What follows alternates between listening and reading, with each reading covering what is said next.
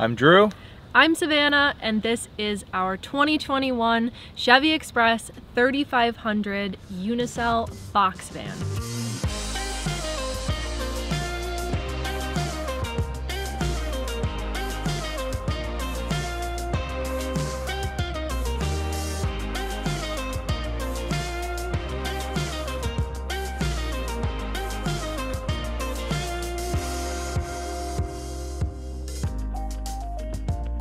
Built this vehicle to sell, so you'll notice nobody is currently living in it, but it will be going to its new owner very soon. Something you'll notice about this vehicle, it is made by a company called Unicell, and what we loved about this vehicle is that it is one fiberglass piece that makes up the body. That means there's no seams that can leak, which is a huge problem with box trucks specifically. So we were really excited to use this platform for our build. In addition to that, it is very aerodynamic, which helps on fuel mileage, and aesthetically, it just looks incredible. It was a great choice to put a camper in. All right, let's get started with the tour. And the first thing that we will do is a walk around of the vehicle to show you all the features on the exterior.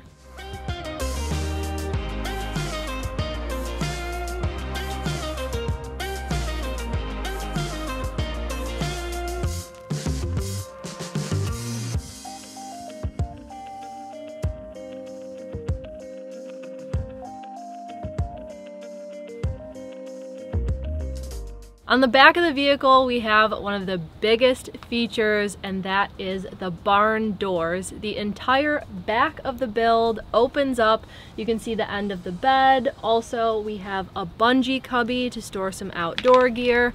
We also have an outdoor light and a backup camera up top.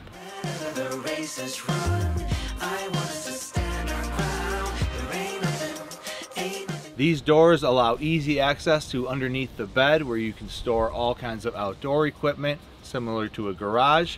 You will also see our fresh water system that is 75 gallons of fresh water, a six gallon water heater, water purification system, and everything you need to be off-grid for a long time. Also within the freshwater system, our water heater has been converted to 24 volt and that saves a little bit of energy on your off-grid power system. We also have an APEC three-stage water filter and there's a separate faucet for that within the kitchen so that you can filter your drinking water right out of this 75 gallon tank. The garage is lined with this nice rubber mat so that it really is like a garage storage space. You can put outdoor gear in here and not worry about any mud or dirt. It's really easy to clean and that's why we added it to this area because we knew it would be seeing a lot of wear and tear.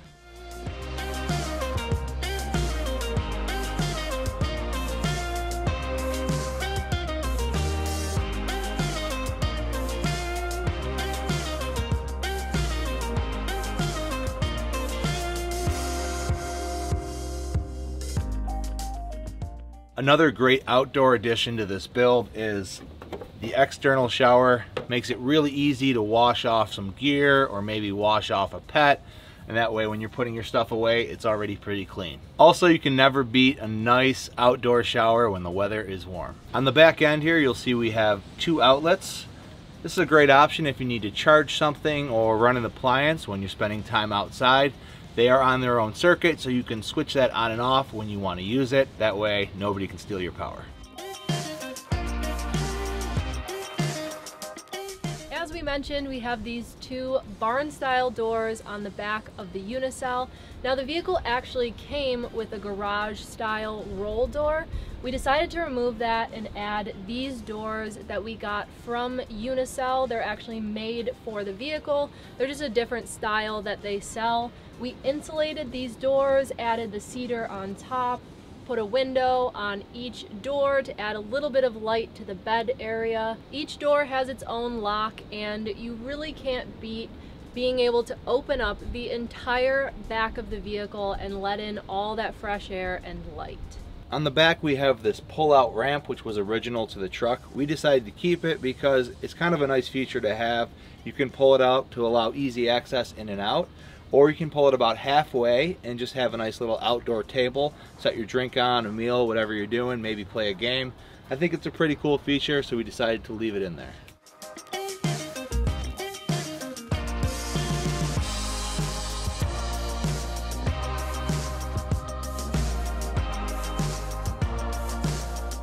Along the driver's side of the vehicle, you'll see the shore power inlet allows you to plug in and charge your batteries when there is no sun. This huge window, which is really nice if you're sitting on the couch or at the dinette, it allows a lot of natural light into the house. Then there is this access door, allows you to fill your propane tank. This is a 20 gallon propane tank, which is pretty large for a build of this size. It fuels your oven, your stove, and your marine heater. It keeps the whole thing warm. Another interesting thing about this build, when Drew and I purchased this vehicle, it was just a regular box van. There were no doors or windows on the side of the box. In order to do the type of build that we wanted to do, which included solar on the roof, cabinets mounted to the inside, we knew that we would have to reinforce the framing of the box. We did this with all new 1x2 steel tubing. This gave us the opportunity to frame out each door and window and strategically choose each one's location. Next up is our custom built stowaway staircase. These do not support on the ground, which allows easy access in and out of the vehicle anywhere you are.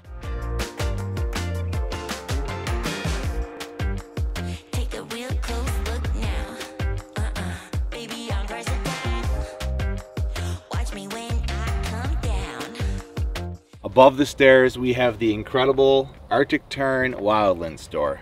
This is an entry door, as well as a security screen. We have a triple deadbolt lock. These security screens are lion and grizzly bear proof, as well as human proof, so you could have this open with fresh air coming in your house, even when you're sleeping.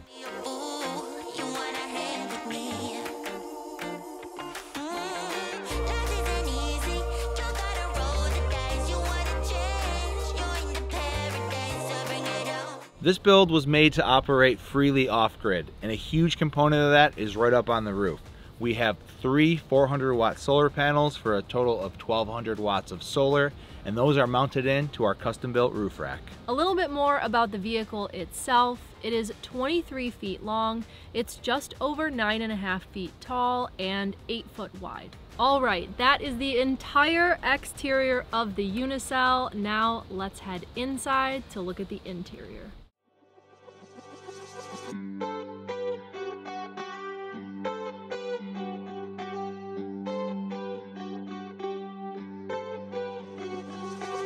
Falling out, we've reached disaster. Don't know where we're gonna be after. And we do it all again and again and again and again. Again and again and again and again.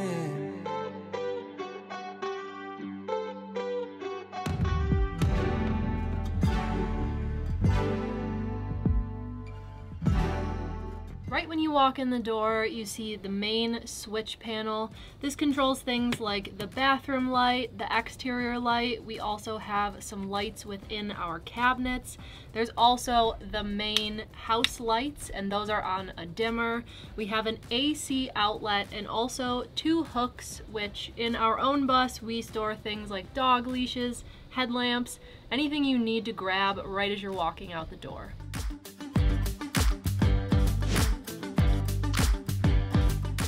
To the right of the entry door, we have a large storage cabinet.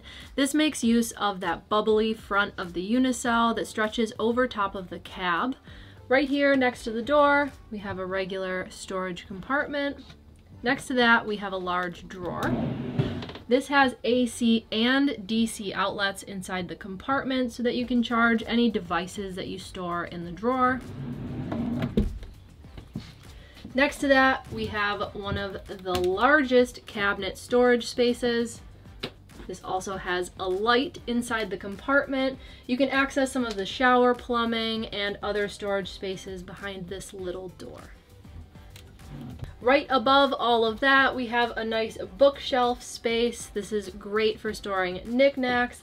There's a ledge on it, so nothing is gonna come flying out of that shelf. And underneath all of that, we have a curtain that hides the cab access door. This provides access to the vehicle, the actual driver and passenger seat, and it's kind of nice to have those two areas separated by a door so you can choose to open or close that door.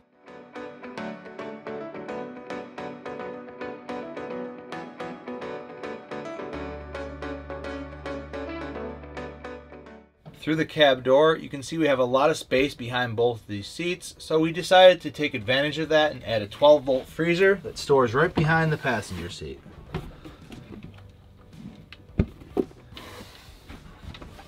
Next up, of course, we have the bathroom. We did tile on the back wall as well as FRP board on the side walls.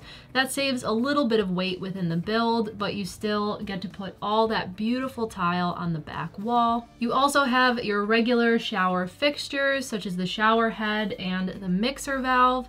The 24 volt water heater runs directly to this shower, so you have both hot and cold water. For the toilet, we use a Thetford 565E. This is just a simple cassette toilet.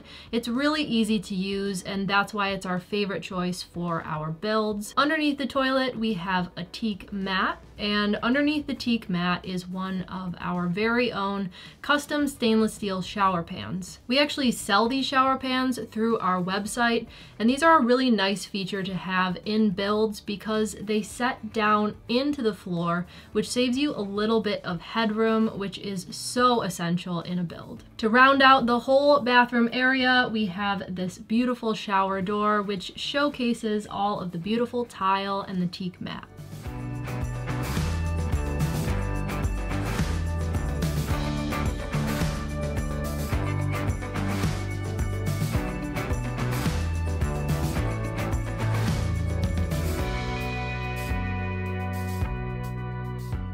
Moving right along, we come to my favorite corner of the build. This is so cozy. We have our Dickinson Marine heater, which keeps you very warm when it's cold outside. The ambiance of the flame and the light in the vehicle, you really can't beat it. The Dickinson P12000 has a direct vent chimney, which goes out to our roof, and a deck cap. To the left of the heater, we have conveniently located AC and DC outlets. There's a dimmer switch for these lights, as well as an on-off for the lamp light that goes above the dinette and the couch. Above the heater, you'll see this open shelf, which is nice for just a little additional storage. Underneath this butcher block countertop, we have three more large storage drawers.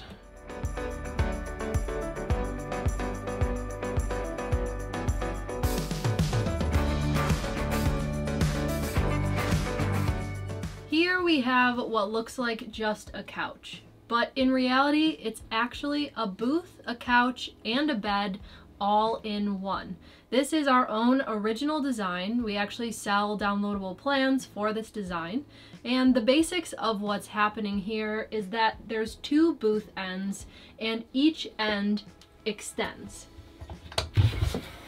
It does this with slats that slide in and out and both booth ends extend. In the middle, we have a table that comes up and down to form the booth. And when you extend both of the ends and you put the table leaf up, this forms a twin-sized guest bed. You can also do all kinds of fun things like make an L-shaped couch, a U-shaped couch, a two-person booth, or a four-person booth. There's so many options to this space, and having a modular piece of furniture in a build this size is an absolute game changer. Underneath our couch, you can lift each booth end to allow access to the power system. The basics of the power system, it's a 24 volt power system, meaning there's a 24 volt battery pack.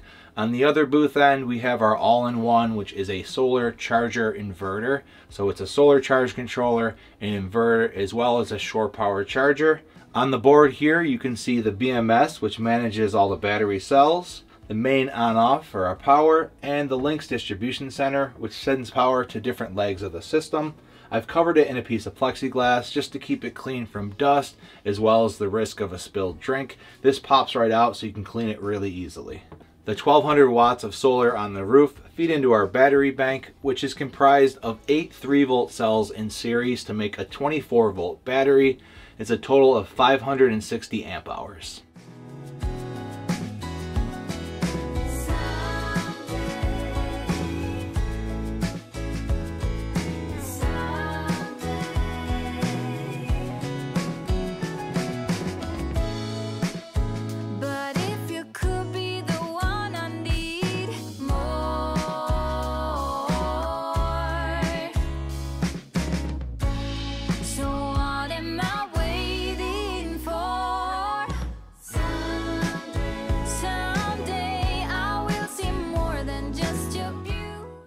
In the back at the bed area. We really try to make this space as homey and cozy as possible.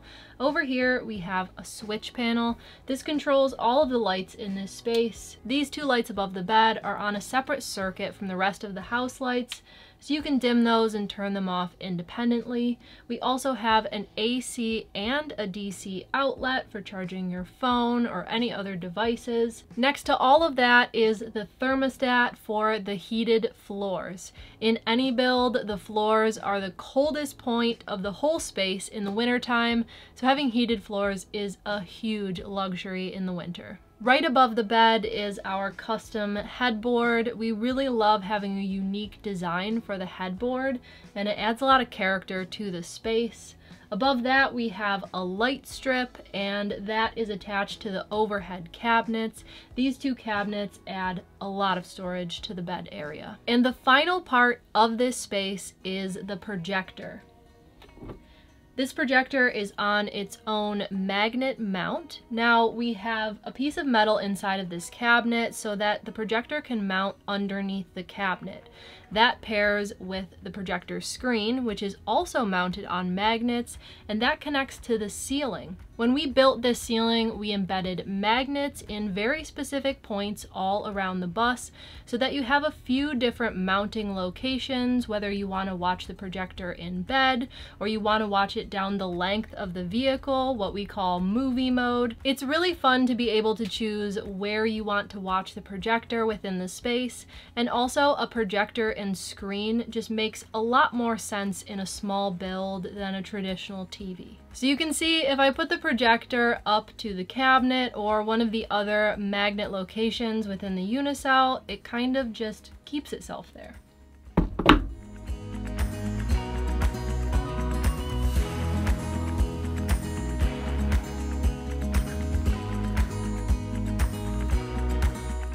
Right at the end of the bed, we have our closet. This closet has sliding bypass doors. Now the benefit of having these type of doors is that they're right at the end of the bed. If you had traditional doors that opened outward, they open right into your bed area and that could be annoying. So we decided to do these sliding doors and we did a really fun slatted design. This is a 24 volt off-grid capable mini split. The other half of this unit is mounted underneath the unicell. This is unique because traditionally air conditioning is going to be one of your biggest draws on an off-grid system. But because this is 24 volt, you'll be able to run it a lot longer when you're not plugged into shore power. Something that we really like to add to a lot of our closets and cabinets is lights. It makes a huge difference to actually be able to see what's in your cabinets. We have a drawer right here in the middle and underneath that is another little storage compartment that's actually the depth of the 8 inch mattress. It goes underneath the closet for even more storage. Because of the sliding closet doors, each side is essentially a mirror of the other side. They both have the storage underneath and they both have the drawers. However, this drawer acts as a sort of vanity because we added a mirror underneath the lid.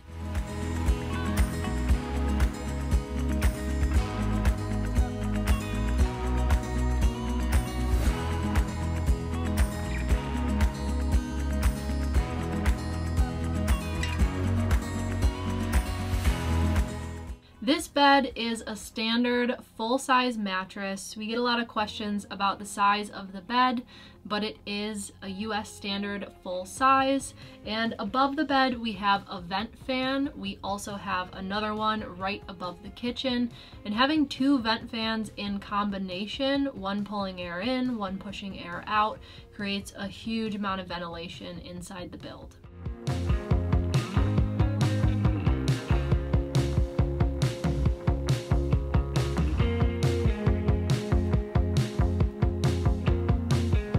Since underneath the bed is the largest storage compartment in the whole build, we decided we wanted to be able to access that from both the doors but also within the vehicle. We did that by placing the bed on a platform, installed hinges and gas struts that keep it open once it's lifted.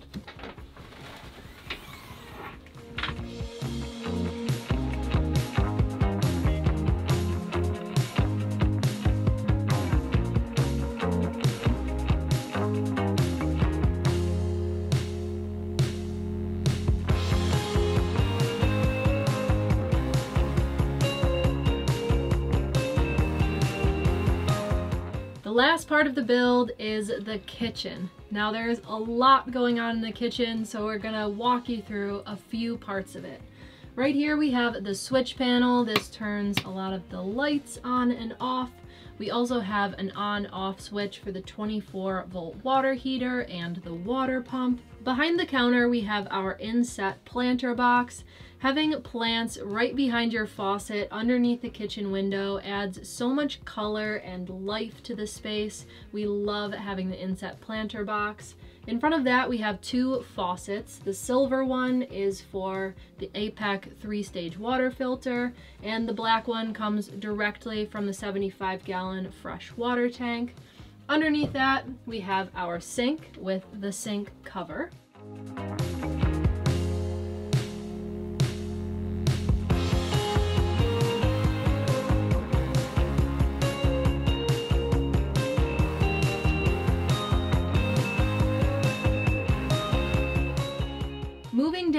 We have our pull-out pantry.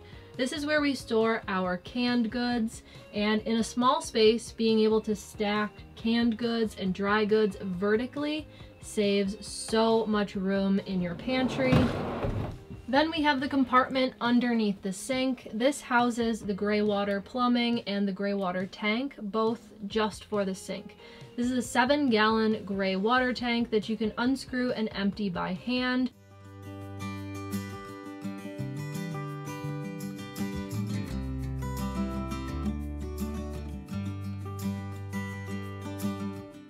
Next to the sink, we have our pull-out cutting board for some additional counter space. Underneath that is three storage drawers. And at the very bottom, we have one of the cutest features of the whole build, and that is the Mateo drawer. Mateo is our 10 pound Chiweenie and we noticed while we were traveling that his food and water dish would always be rolling all over the van. So we decided to create this custom pet drawer so that the food and water dish are always secure and when you go to drive you can just push it in and it won't spill. Right here we have our oven and three burner stove top. Behind that is the inset knife block. This is a really unique way to use your countertop as storage. Next to that we have a small compartment and this has a basket underneath for under counter storage. Underneath the oven we have a large storage drawer for pots and pans. And then above my head we have three huge storage compartments for all of your kitchen items and dishes.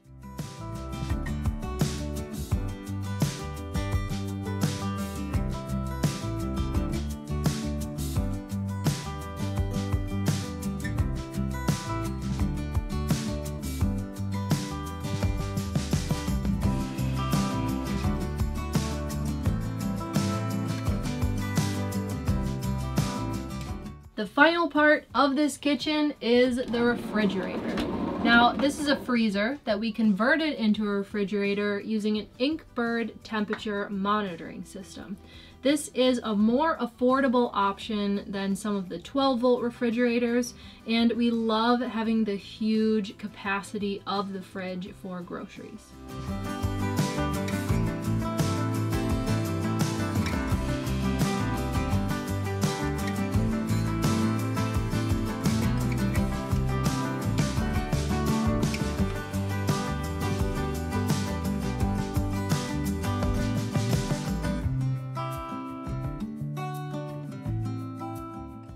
Right, guys, thanks for hanging out. That wraps up the tour, and I hope you really enjoyed the build.